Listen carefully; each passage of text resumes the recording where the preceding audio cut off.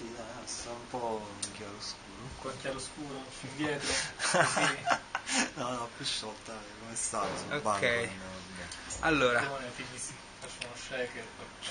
vabbè, Buono dimmi tu sgabello. quando sei pronto. Ci sei? No, ci sta. allora. Sì, sì, Possiamo andare? Sì, tanto te la dai, lasci, no? Sì, sì, sì.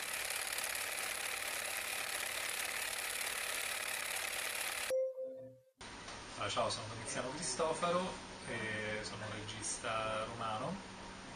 Ho iniziato la mia carriera da regista a Los Angeles eh, nel 2008 con il film House of Flash Mannequins.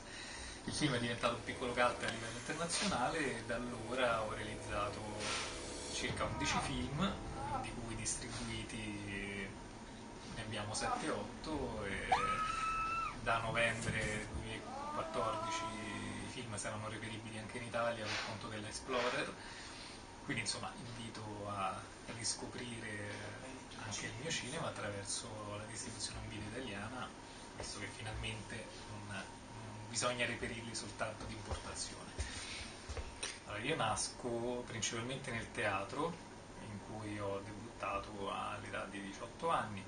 Nasco come danzatore e performer e fino a qualche tempo fa ho comunque lavorato in teatro come attore e cantante. E diciamo che sicuramente il teatro ha influenzato il mio modo di fare cinema perché comunque eh, l'impronta teatrale penso che si veda nella costruzione delle scene. Ehm, a tempo pieno lavoro come tatuatore anche perché comunque è difficile vivere di cinema in Italia, insomma, solo di cinema. Bisognerebbe fare un tipo di, di- di prodotto forse più commerciale per poter eh, lavorare frequentemente. Io ho scelto di fare un prodotto più di nicchia, più indipendente, quindi eh, non è la mia forma di sostentamento, anzi a volte è anche una remissione lavoro come tatuatore lavoro quindi molto con il corpo, con il sangue e penso che sì, forse questo rapporto con il corpo sia comunque una, una parte anche fondamentale del, del mio modo di fare cinema, non tanto perché si vedono tatuaggi o gente tatuata, quanto perché comunque ecco, ho una percezione forse del corpo e del dolore differente dalla, dalla media comune, quindi la indago poi e rappresento nei film anche con una certa leggerezza e scioltezza che altrove non, non si vedono. Stasera all'Abus vedremo Doll Syndrome che è il mio ultimo film, Eh, fa parte di una trilogia, una trilogia iniziata con Red Crocodile che è stato presentato sempre qui in settimana. Eh, Red Crocodile era il purgatorio di questa trilogia, Doll Syndrome rappresenta l'inferno. Eh, è un film che è stato considerato forse tra i più estremi del decennio, ma dalla critica a sorpresa anche forse il mio film migliore. È un film che affronta con diverse chiavi di lettura l'idea del- dell'inferno, l'inferno privato, l'inferno sono gli altri. Quindi è una storia di tre personaggi che diventeranno in qualche modo ognuno l'inferno di un altro. Ho lavorato anche come effettista nei- nel cinema.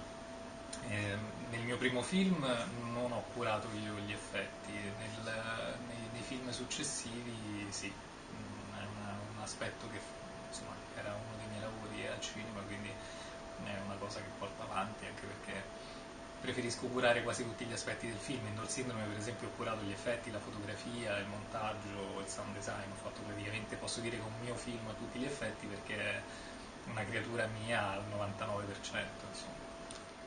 Guarda, come fonti di ispirazione del- dei miei lavori in realtà cerco di non, ehm, di non prendere appunto ispirazione, cerco di, quando lavoro a un film, per esempio smetto di guardare film o di leggere proprio perché cerco di sviluppare una mia visione.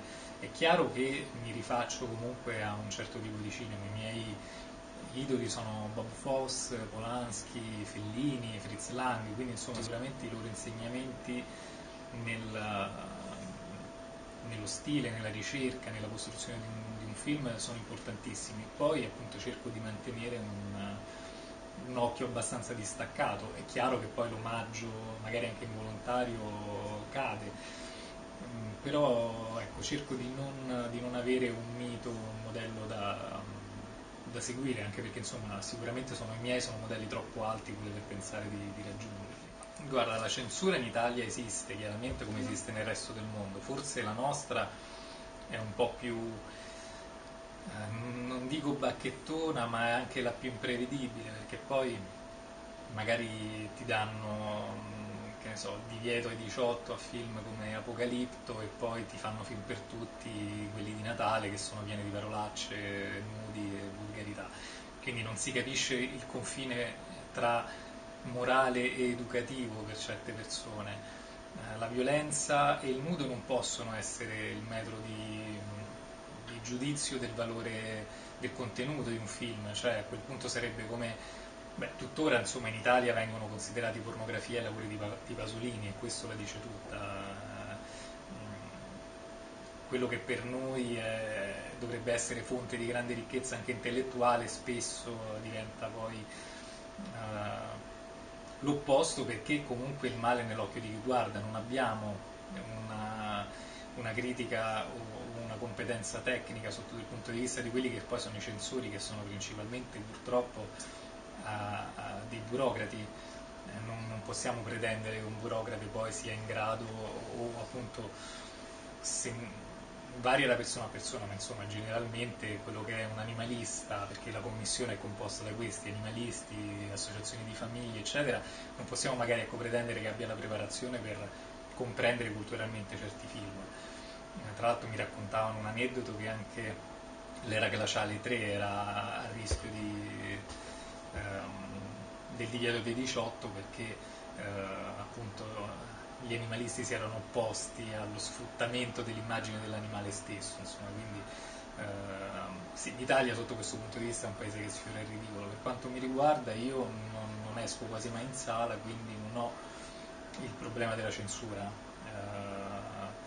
Avrei il problema comunque della censura se dovessi passare in sala perché eh, comunque i miei film contengono nudità o violenze e queste sono cose assolutamente inconcepibili per eh, per quello che è in realtà il mercato, perché non è un fattore culturale, il cinema è diventato un mercato, quindi bisogna pensare alla vendibilità di un film, un film che può avere nudo o violenza è un film soggetto a censura, quindi ti porta meno pubblico in sala, perché già un film che vietato ai 14 o ai 18 ti limita un pubblico di famiglie, quindi i, i gestori di cinema non prendono i film con i divieti e automaticamente i distributori non, li, non si sentono autorizzati a distribuirli, quindi è un, un cane che si morde la coda, insomma, cioè ci scordiamo quella bella libertà anni 70 e 80 che era il nostro cinema che ha fatto scuola in tutto il mondo, eh, a cui tanti si ispirano, vedi Tarantino, e, e, noi stessi oggi invece siamo proprio schiavi di, di, un'industria che sta diventando un veicolo cieco,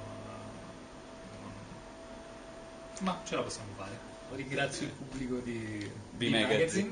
Eh, grazie per la pazienza e l'ascolto. Grazie a te.